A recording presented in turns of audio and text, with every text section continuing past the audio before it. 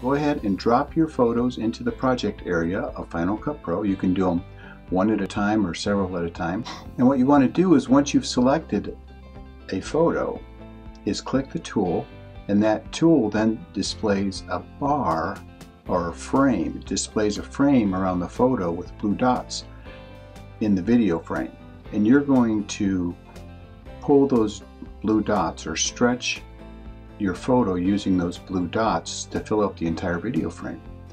And that's basically all you're going to do one at a time. After you've done stretch the photo, click the done button and now you'll see that your photo is a different shape because it fills the entire video frame.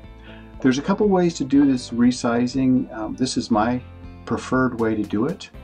Um, as I said, you can do one photo at a time or you can do a couple.